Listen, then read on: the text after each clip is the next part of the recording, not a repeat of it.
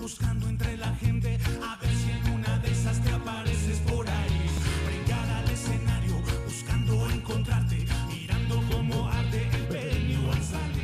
Seguimos aquí en Tu Casa TV, muy contento de recibir a dos de los integrantes del Panteón Rococó que están con nosotros aquí en el programa de Manteles Largos, presentando un nuevo material discográfico. Darío, te saludo Hola. con mucho gusto. Felipe, Hola. gracias por acompañarnos en Tu Casa TV. Platíquenos porque el pasado 24, hace dos días, ya de manera oficial, se puede decir, en descarga para todos los que deseen, 11 temas de este nuevo álbum denominado Infiernos. Infiernos. ¿Por qué pusieron así el disco? De entrada por ahí vamos a comenzar, Darío. La onda es meternos los infiernos no literales, sino más bien alegóricos. Los infiernos que traemos cada uno aquí en nuestras cabecitas y que los desarrollamos de alguna forma. Pueden ser infiernos buenos, infiernos malos, todos claro. tenemos todo.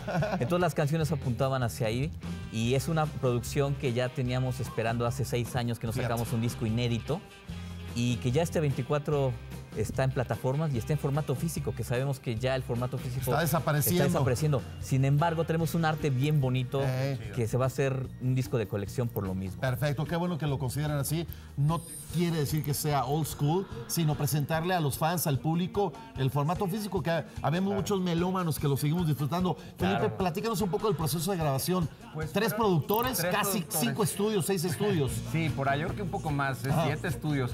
Fue grabado desde hace dos, tres años empezamos a grabarlo. proceso es largo. Ciudad de México, Guadalajara, una parte se hizo en Los Ángeles. Ajá. O sea, es un disco muy ecléctico en ese sentido, donde tres productores que ya son nuestros amigos y Sí. ya son de casa. eh, una- un argentino, Álvaro Villagra, la Chiqui Samaro, que es un gran O productor. sea, Jorge sabe más o menos bien cómo Nos conoce Sí, sí, sí. perfectamente y sabe, sabe cómo el, el sonido de, de Panteón lo tiene muy claro. Muy bien. Y el tercer productor fue Enzo Villaparedes, que estuvo tocando como trompetista de la banda cerca de tres años. Yo, yo sigo a Chiquis en Facebook y algunas veces puso algunas probaditas del proceso de grabación y desde hace un año y cacho. O sea, aquí te das cuenta de lo que es el trabajo para poder que el artista finalmente plasme su obra. Y como ustedes querían, la mezcla quedó bien, La mezcla la quedó masterización quedó bien, es lo que pretendían de lo que vive hoy Panteón Rococó, Felipe. Es por ahí. Sí, sí, yo creo que es, es difícil porque, bueno, como bien dices, son estudios diferentes, son Sí. productores diferentes. Normalmente o antes se grababa en un mismo estudio, las batacas era la misma bataca o cambiabas Sí. de bataca, la microfonía es la misma. Ahora todo fue un proceso diferente Sí. y eso se logra al final eh, en, el- en el- en la mezcla y en el máster. Claro, es claro. cuando ya se unifican eh, Musicalmente. ¿qué propuesta? ¿Hay evolución? ¿Hay riesgo? ¿Se fueron sobre más o menos lo que Panteón Rococó ha demostrado a lo largo de una trayectoria fantástica? ¿Hay nuevos elementos?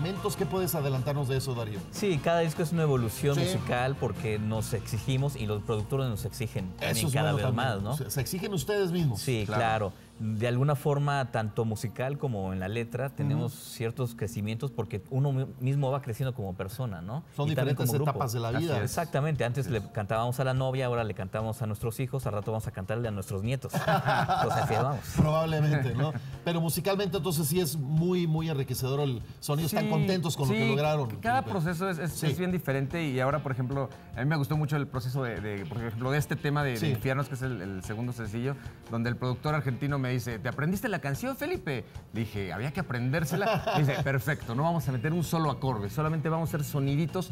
Y es algo que nunca había hecho, no solamente hicimos soniditos chiquititos por ahí, filtros y cosas que, que realmente eran, dif- diferente en Panteón, no siempre normalmente es un piano, un órgano acompañando, ¿no? Siempre hay un padre. crecimiento y un Eh, nuevo aprendizaje cuando se plasma un, un nuevo disco. Seis años para todos los fans de Panteón Rococó esperando nuevas canciones y esta es la oportunidad para ya disfrutarlas. ¿Tienen planificado, Darío, Felipe, presentarlo de manera formal o irán presentando los temas en sus conciertos? Ya los venimos tocando, los Ajá. sencillos empezaron a salir desde el año pasado, el último ska, Tonantzin, ahora estamos promoviendo este, Infiernos, de Sí. Que estamos viendo escenas del video grabado en Berlín y en Hamburgo. Es lo que les iba a preguntar, ¿dónde fue la filmación? Sí. Ahí está, en Europa, ¿con, con quién trabajaron? Fíjate que esto es muy curioso, pero decidimos, en lugar de gastarnos una producción muy grande aquí en México, los, comprar los boletos de avión de los ocho integrantes del grupo Ajá. e irnos solitos, solitos hacia a ¿Ustedes las mismos ciudades. grabaron? Nosotros no. Conseguimos a un, a un- Unos cuates ahí No, a, un- a una empresa que se dedica Una a grabar y que nosotros dudábamos porque se veía súper chavito y dijimos, neta, este chavito Pero de no- repente saca buena foto. te llevas de buenas verdad Pero créeme que en realidad increíble. solamente es el camarógrafo y nosotros. Sí, sí, sí. No hay, Lo- no hay luces, el- el- no hay No hay catering, luces, no hay, director. maquillaje, Nosotros no hay veníamos director. dirigiendo Muy de, bien. oye, ¿por qué no toma una aquí? Está padrísima esta, esta toma Oye, en, el, en el muro. Tomas ¿no? naturales, luz Sí. natural a la González Iñárritu, luz natural. Y con Sí, lluvia sí. natural, ¿eh? Muy bien, natural. y creo que el concepto va acorde con lo que están presentando. Exactamente. No, no, Y esta es la oportunidad muchísimo. también para descargarlo y disfrutarlo ya en todas las redes también. El Lugar Claro de que sí, ya está listo.